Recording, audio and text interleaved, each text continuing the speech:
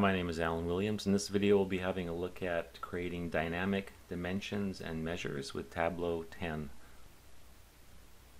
Okay, so as mentioned we're going to be having a look at dynamic dimensions and measures in Tableau 10 and the exact version I'm using is 10.3.1.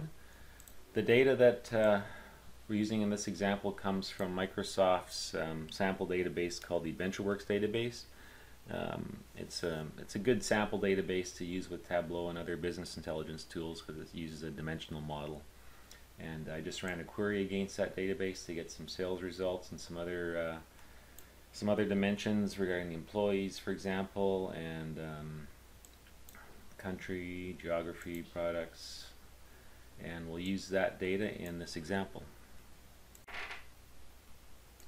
So let's get started by bringing some reseller information in. So I'm going to bring the business type into rows. I'm going to bring the sales amount into columns.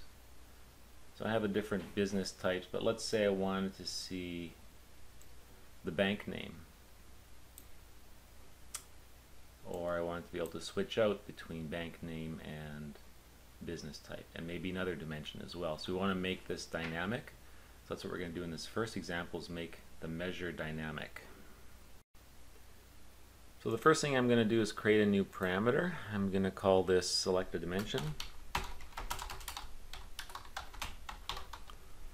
going to make it a string data type. I'm going to make a list here. I'm going to type in the values that I want. Business type, bank name, and order frequency.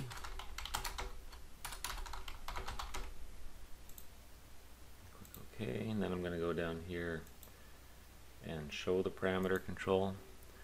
So this time nothing's going to happen. We have the selected dimension parameter, but when I change it, nothing changes in the visualization.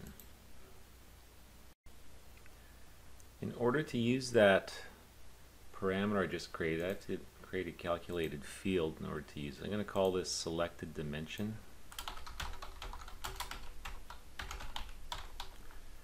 I'm going to use a case statement. So case, select the dimension. This is the parameter that we just created. Say when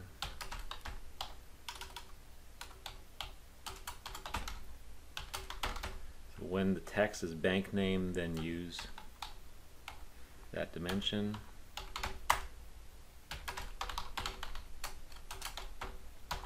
business type, then same thing. The next one, order frequency. Then I'm going to use another calculated field that I created, and I'll explain that in a minute. So, called order frequency description. So, order frequency is just a one character dimension. Order frequency description has the description that that references. I'll show that in a minute. Um, so there we go, and then end. So this should be okay. Click apply and okay. So now that I've got the selected dimension calculated field, I can just drag that over top of the bank name in this case. So now I've got um, the sales by the order frequency annually, annual, quarterly, and semi-annual, by bank name, and by business type. So by using a combination of a parameter and a calculated field, we were able to dynamically change the dimensions that are showing in this chart. I can also apply a sort here if I want to. I can go to sort and field based on sales amount, apply. So now when I select the dimension, automatically sorts um, by the sales amount for the selected dimension. But let's say, for example, now we also wanted the the measures to be dynamic. So instead of just sales, I want to have a parameter that allows me select total product cost, um, discount amount. I want to dynamically be able to switch between these different measures. So that's the next step in this video tutorial. So I'm just going to rename this sheet dynamic um, dimensions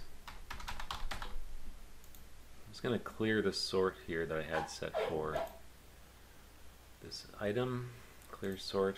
Now I'm just going to duplicate this worksheet. This will be a starting point to create the dynamic measures and dimensions together. Now I'm going to create a new parameter. I'm going to call this select a measure and I'm going to make this a string type and a list as well. I'm going to say sales, cost, and discount. Alright, say OK. I'm going to add this to, or show the parameter control, and um, so select the measure. Nothing is happening at this point. There's still more work I have to do. Next step is to create a new calculated field. And I'm going to call this measure selected.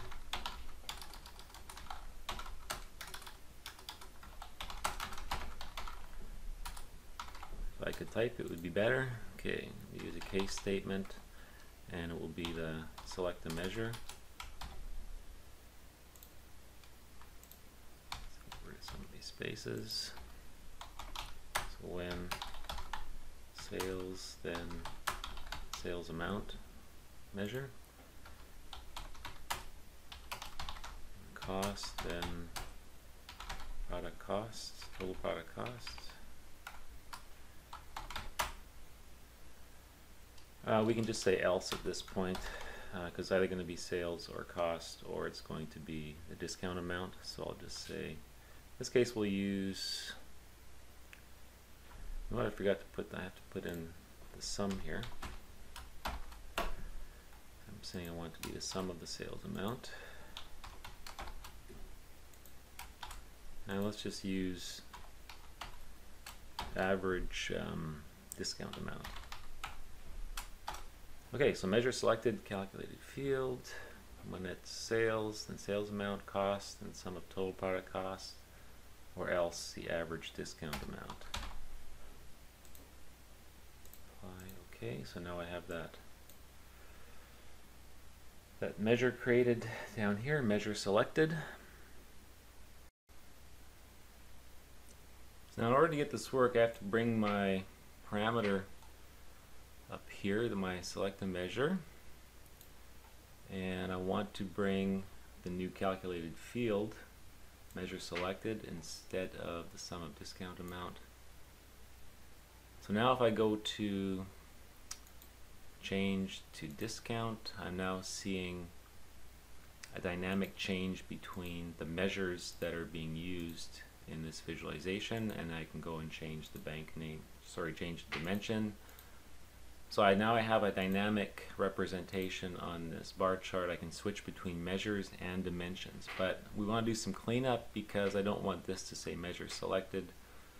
Um, don't necessarily need to see this text here either those are the next steps. Before we go any further, I also want to implement a top uh, parameter. So select um, bank name. So let's say, for example, I, I want to show the top three of whatever selected dimension is, um, or top two, whatever the case may be. So let's go ahead and do that. We'll go and create a new a new parameter, and we'll call this um,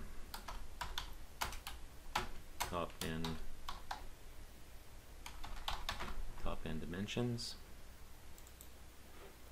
And we'll make an integer. We'll make the the range between 1 and and 10 and click OK. So now we'll add we'll show this parameter control. And then what we'll do is we'll add a filter to dimension. So then we'll go to the top tab and we'll say by field top 10 and we'll use that parameter we just created top 10 dimensions and say apply and OK. So now we have this control over here. I can make this so top 2, top 3 and if I select the bank name. I'm just seeing the top three banks. So now we've made this quite dynamic by having dynamic um, dimensions and measures and also adding a top a top filter as well. So you can see when I switch between the measures here, it is updating this um, this label here, and that's good. But we don't need to see we don't need to see this. So hide field labels for columns, and I'm going to edit this axis. And I'm just going to get rid of measure selected, and apply. So now I'm seeing um, the axis value on top. It still works, but it is dynamic now. And I can just do the same thing here. Hide field labels for rows. So this is a bit cleaner now. And there's one more thing I can do to make this um, to look pretty sharp. I can go into worksheet and show caption and I can edit this caption. So that's what I'm going to do. Edit caption. Do, I'm going to make, so by default Tableau creates a caption based on uh, the dimensions and measures that you've selected and this is actually quite useful but I want this to be um, custom. So I'm going to say you are viewing the top and then I'm going to say insert parameters top and dimensions the top so whatever number this is and then I want to insert whatever the dimension name is and then say by and then we'll say parameters, select a measure. Okay, so let's see what this looks like. You're viewing the top three bank name by discount. Now if I change this to business type, you're viewing the top three business type by discount, by sale. So this is dynamic now. I can also format this caption. So let's say I want it to have some shading there, and I want to have a border that stands out a little bit. Okay, so I formatted this caption. So now I can add this to a dashboard. Let's have a let's see what that looks like in a dashboard. Okay, so I'm going to go create a new dashboard and bring in sheet 2. Actually, let me go ahead and, and rename this to say dynamic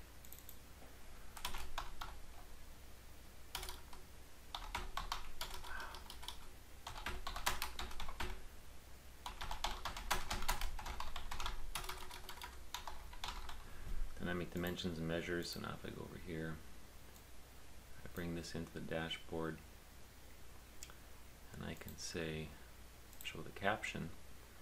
So now in the dashboard, um, this is looking pretty good because it moves the caption right underneath the, um, the chart. And when I change the, the measure selected, it's dynamically changing the caption that's showing in, in the dashboard. So there you go. We have a created a little dashboard, some worksheets and a dashboard that show how to create dynamic dimensions and measures in Tableau 10.3. Thank you for watching.